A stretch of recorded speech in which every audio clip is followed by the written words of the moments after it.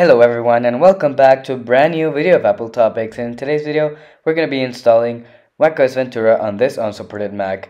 We are rocking 4GB of RAM on a MacBook Air early 2015 and it's running macOS Monterey, which is the latest supported software. Now let's install macOS Ventura on this Mac. Let's roll the intro and get started.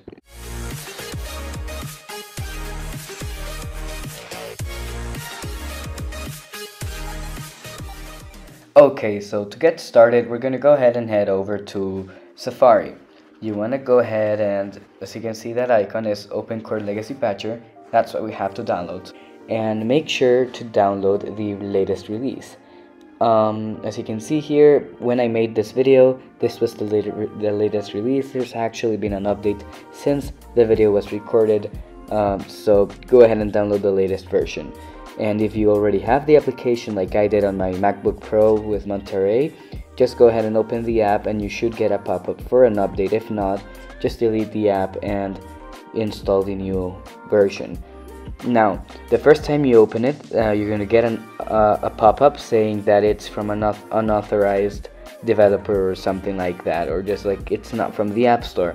So just either if you see the option to click anyway to open anyway go ahead and do that. If not, you can go into system preferences and go into security and privacy and you should see an option there that says open anyway. Another way to do this is you can go into your finder and search into the downloads and you can see here uh, right click the OpenCore download and then you can go ahead and uh, open it uh, just right click and open and then you should get the pop-up saying if you want to open this application even though it's not from the App Store. Now, as you can see here, we've got it opened. Now, there are a few things that are really important here. Post-install root patches is something pretty important um, because you, you don't have to use it right now, but every time you update your Mac, like you can update just as normal with system preferences, but after your Mac restarts, all of your patches are gonna be gone and depending on what mic you have it might be really slow your aspect ratio might be bad or stuff like that. So you can just uh, post install root patches and it'll reboot. So actually in fact when you update your Mac after it turns on you should get a pop-up automatically saying that it has detected that it needs the post install root patches. So first of all you're gonna go ahead and create a macOS installer um, I actually, as you can see, I already have it, so I can just go ahead and use existing macOS installer. However, since you probably don't have it, you have to go ahead and click in download macOS installer. This is going to take just a few seconds and it's going to show us all the different macOS versions that we can use with OpenCore Legacy Patcher on a non-supported Mac. macOS uh, Big Sur, macOS Monterey, and macOS Ventura. I've actually been able to use all of those three versions um, as they have been coming out uh, you're gonna see the latest version. As you can see there it's 13.0 and it is 12 gigabytes it's a full installer. And uh, 13.0 it is um, you're gonna see 13.0 here because that was the latest version when I recorded this video. However now we have 13.1 or so. So you, you should see that and download that.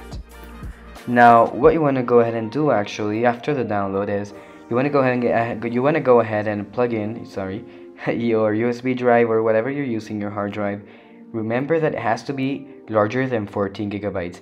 So now you just want to go ahead and open up uh, this utility because we want to format our drive. Now remember that this will delete everything on the drive. So just go ahead and double check that you don't have anything important there. So just click the drive and go ahead and click erase. Um, and when you click erase you're just gonna use APFS and guide partition map. It's not really important as long as your Mac will recognize it because either way OpenCore will uh, format it too. Just make sure there's nothing important that you want you don't want to lose because you will lose anything on your drive. So when the download is done, you're gonna see this, and what you have to do is we'll click macOS, install macOS Ventura. You're gonna see this after you click Flash Installer. Obviously it's going to be different if you're doing macOS Big Sur or something like that. But anyways, and now you're going to see here your drives. Now as you can see, remember that it has to be 14 gigabytes or higher. And uh, yeah, as you can see here, mine is disk 2 generic 160 gigabytes. It's my hard drive. the one I'm going to be using. Now I'm not going to do this again because I already did it and I don't want to go through it again. But uh, yeah, this is what you have to do. So, so this is kind of what you're gonna see, um, and this is basically moving all the files of the installer into your hard drive or USB drive, and it's making it bootable so you can uh, install it into your Mac. And uh, basically, this can take from 20 minutes, 30 minutes, all the way up to an hour, all depending on what you're using. If you're using like a, a hard drive, like I am, it's gonna take a long time. For me, it was really smooth, but it took around an hour. But if you're using an SSD or a USB drive, it might be a little faster, uh, depending on how fast your USB drive is. And if it's an SSD, it'll be like maybe even 20 minutes. But uh, yeah, now you just wait a little bit and uh, it'll be done. So after it finishes transferring into the USB drive, you're gonna see this. All you have to do is click install to disk. Um, you might uh, need to put in your administrator's password but just click install to disk.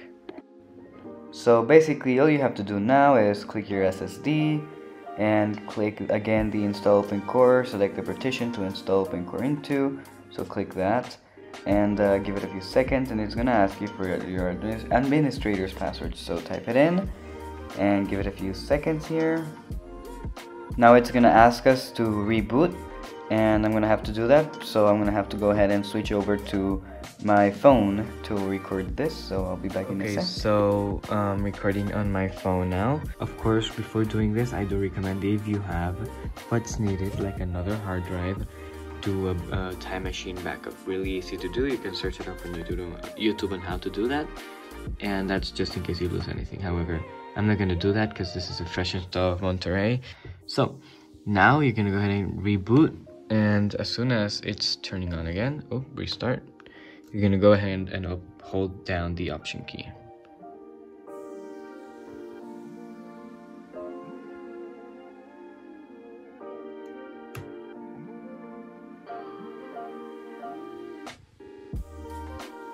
keep holding the key until you see that now, you're gonna go ahead and go to the left or right, wherever it is. You can use your trackpad or mouse, or you can use your um, arrow keys.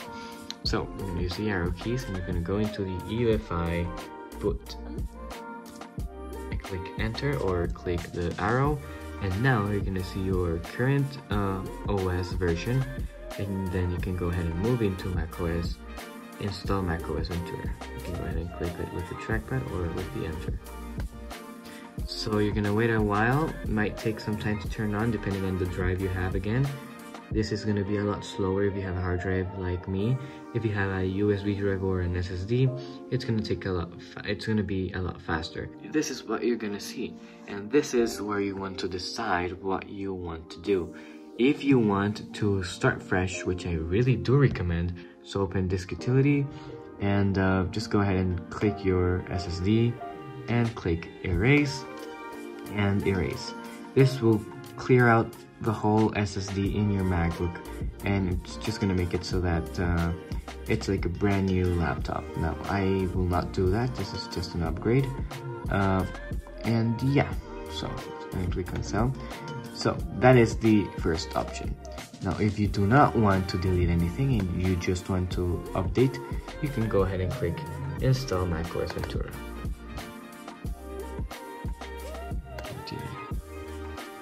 Just give it a few seconds. Remember, I'm running off a, a hard drive. There we go. macOS Ventura. Continue. Here, there we go. You're gonna get this pop-up. I have read and uh, and agree. I read and agree to the license agreements. Okay, so be sure to click the drive you want to install this in. And in this case, I only have one, so continue.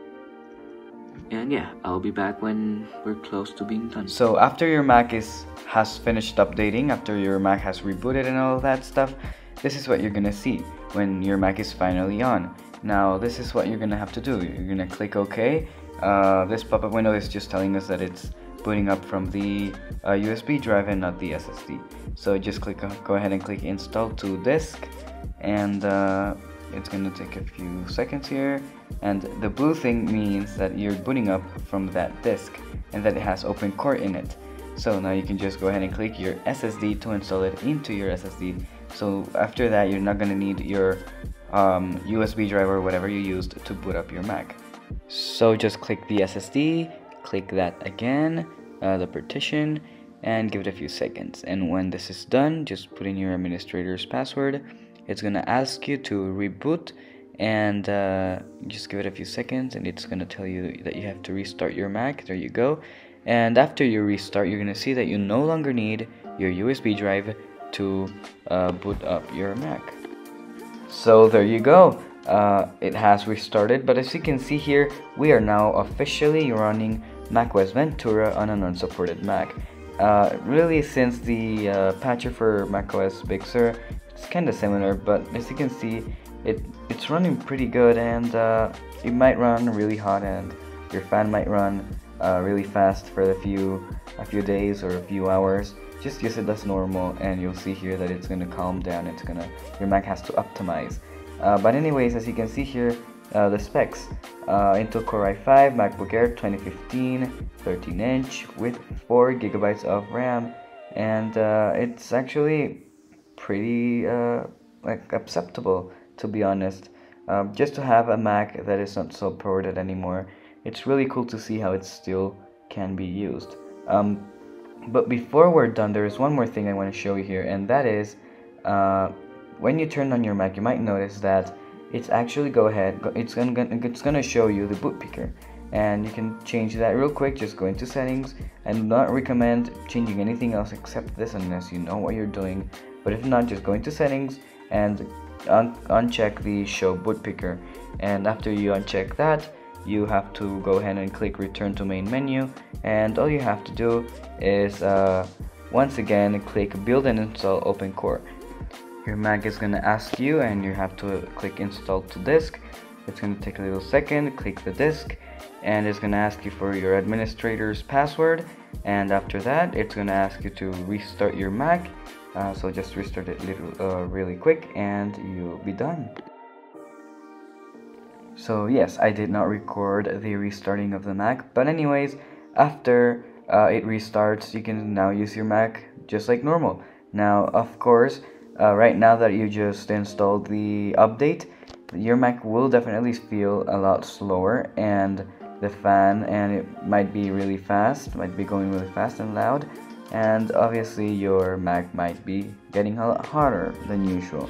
But just uh, use it as normal and over time just maybe over a day or two it's gonna go ahead and get optimized and it's gonna run just fine. But anyways guys thank you so much for watching all the video. It's really long already so I'm gonna go ahead and finish the video right now I'll probably make a video on how uh, how well a Mac performs with macOS Ventura. But anyways, if you enjoyed it, please like the video. If you think you know someone that might find this video useful, please go ahead and share it. Don't forget to subscribe and click the bell icon. And I'll see you guys in the next one.